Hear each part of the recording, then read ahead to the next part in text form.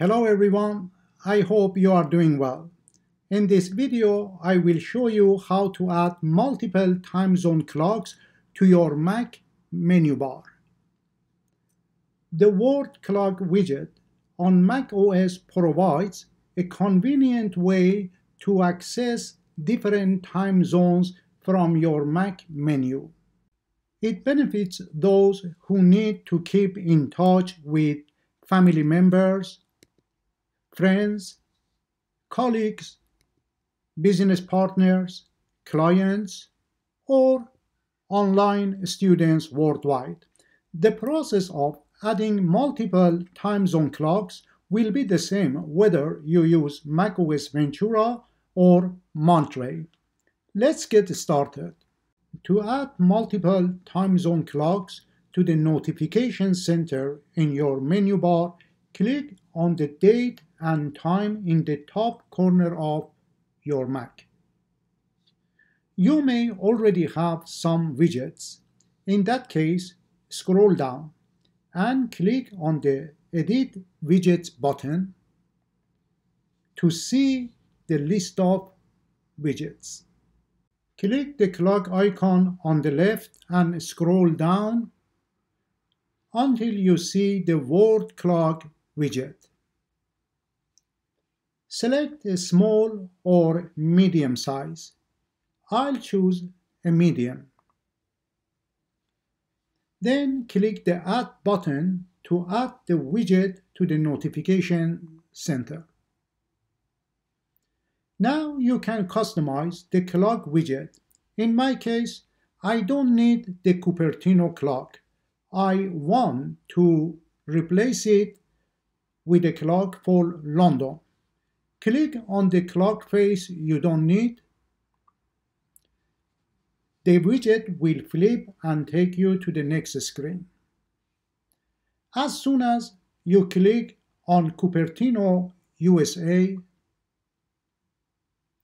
you will see the alphabetical list of countries and cities.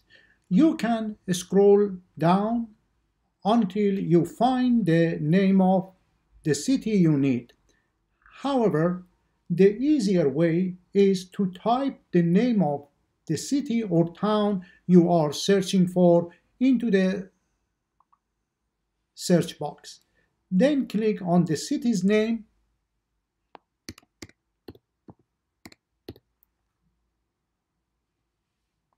and you will see the clock you need. To change the order of the clocks, click on the hamburger icon on the right, drag it up or down,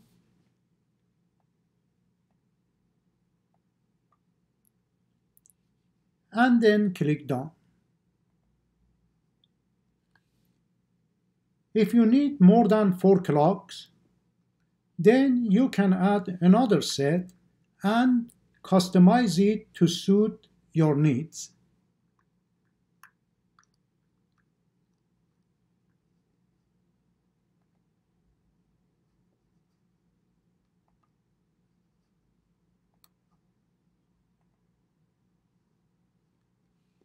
To remove the widget, click on the Remove button then click Done. Now you have multiple clocks in your menu bar. In macOS Ventura, the clock app will launch if you click on the clock widget interface by mistake, instead of clicking Edit Widgets. The clock app is in your Applications folder if you need to set an alarm, a stopwatch, or a timer, then you can use the clock app. I have already made a separate tutorial on how to set up the clock app.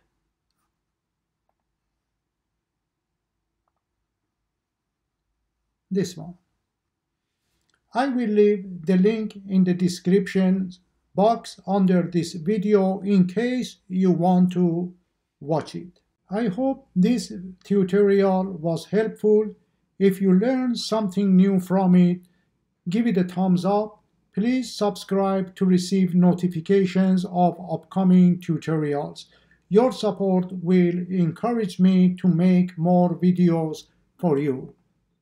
Thank you for watching.